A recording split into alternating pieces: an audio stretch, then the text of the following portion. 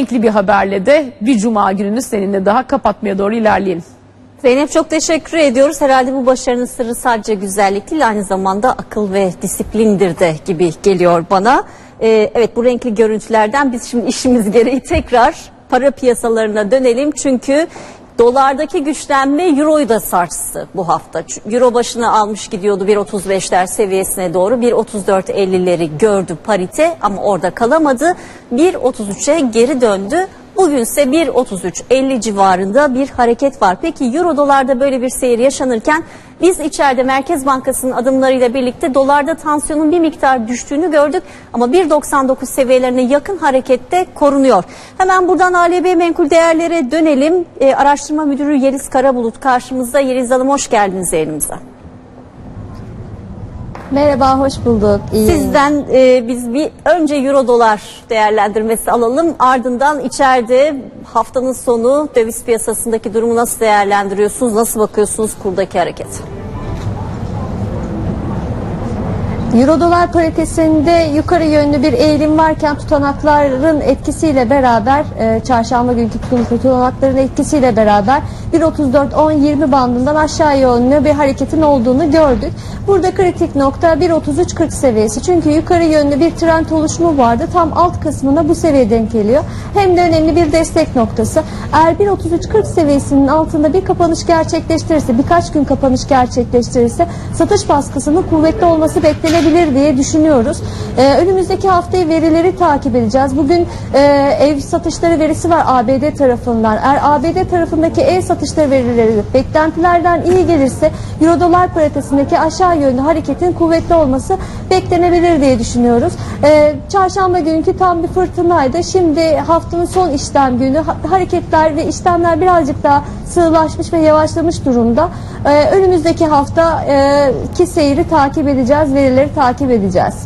Evet, altına da baktık tabii bu hafta. Acaba geçen haftaki seviyelerin üzerine çıkacak mı altının fiyatı diye ama olmadı bir sıkışma gördük. Zaman zaman sizinle de konuştuk. 1360-1380 dolar aralığında gidip geliyor ons altının fiyatı. Ne, neyi görmüştü? 1384 dolar seviyesini görmüştü geçtiğimiz hafta. Peki acaba bu sıkışma hangi yöne doğru kırılabilir? Ne beklemeliyiz altın tarafında?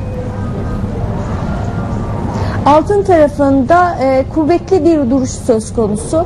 E, özellikle ETF'lere baktığımız zaman fiziki talepte, e, fiziki seyirde yatay bir seyir görülürken e, fiyatlamalarda ise yukarı yönlü bir hareketin olduğunu görüyoruz.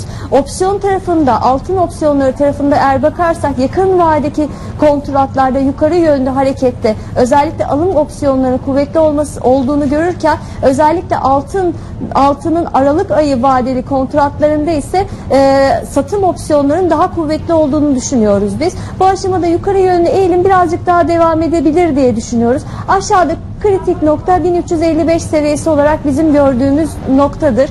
Yukarıda da 1384-85 seviyesi eğer bu seviye kırılırsa yukarı yönlü hareketin kuvvetli olması beklenebilir diye düşünüyoruz. Uzun vadeli e, özellikle 2 aylık bir periyotta yukarı yönlü hareket kuvvetli olmuştu. Şu an sadece bir dinleniyor, realizasyon yapıyor diye düşünüyoruz. 85 seviyesi eğer geçilirse 1400 ve 1420 seviyesi görülebilir diye düşünüyoruz. Ama tabii ki verilere bakacağız. Önümüzdeki hafta ABD verileri var. Akşam e, ev satışları verisi var. Bunlar altının seyrini belirleyebilir diye düşünüyoruz. 1355 seviyesi de eğer kırılırsa aşağıda e, 1300 e, 1325 ve 1305 e, 1300 seviyelerine kadar bir geri çekilme görebiliriz diye düşünüyoruz. Bundan sonra e, FED, e, FED e, kararlarına yani FOMC toplantısına kadar sadece ABD verilerinin fiyatlanacağını düşünüyoruz. Evet bugün Amerika'da yeni konut satışları var. Sizin de söylediğiniz gibi Temmuz ayı rakamı saat 17'de açıklanacak. Öğleden sonra izleyeceğimiz belki de en önemli veri bu. Zaten hafta içerisinde ve önümüzdeki haftada veriler konuşulacak gibi gözüküyor. Fed üyeleri de çünkü verilere bağlı olarak tahvil alımlarının azaltılmasına destek vermiş gibi gözüküyor. Tutanaklardan bu çıktı. Buradan bize dönelim ve borsaya bakalım isterseniz kısaca. Çünkü Borsa İstanbul tarafında bugün bir tepki gördük. Ama bu tepki biraz şu dakika dakikalarda zayıflamış gibi gözüküyor. 68.300'lerde görüyoruz endeksi. Sadece dünkü kapanışın 6 puan kadar üzerinde aslında gün içerisinde 69.000 sınırına kadar da taşındı bu hareket. Ee, bunu tabii bütün uzmanlara soruyoruz. Acaba inmelenir mi 70 binler tekrar görülebilir mi bunu beklemeliyiz e, mi diye. Ancak bu hareketin ivme kazanması iç- e, kazanması biraz yurt dışı piyasalardaki gelişmelere de bağlı olacak. Siz ne bekliyorsunuz borsada haftanın son seansı için? Haftanın son seansında özellikle bu haftaki kayıplar e, çoktu. Yani %7 civarında bir değer kaybı söz konusu. Bu aşamada e, kritik nokta ise burada 69 bin seviyesi. 69 bin ile 69 bin 600 seviyeleri arasında bir gap var. Burayı kapatacak mı ona bakacağız. Gerçi yukarıda kapatılmayan birçok gap var. Onu da söylemek isterim. E, bu aşamada 69 bin seviyesi önemli. Eğer bu seviye aşılamazsa aşağı yönlü hareketin olması beklenebilir diye düşünüyoruz. E, bu hafta sadece e, satış baskısının yoğun olduğunu görüyoruz. Sadece bunlar tepki hareketleri olarak gözükmekte. Endekste tamamıyla e, dolar TL cephesine ve ta- e, tahvil cephesine endekslenmiş durumda diyebiliriz. Tahvillerde aşağı yönlü bir hareket, dolar TL'de de aşağı yönlü bir hareket göremediğimiz sürece BIST'teki yukarı yönlü hareketin sığ olması beklenebilir diye düşünüyoruz. Dolar TL cephesinde de eğer bakarsak 1.97.50 ve 1.99 hareketlerinde yatay bir seyir beklenebilir diye düşünüyoruz önümüzdeki günlerde.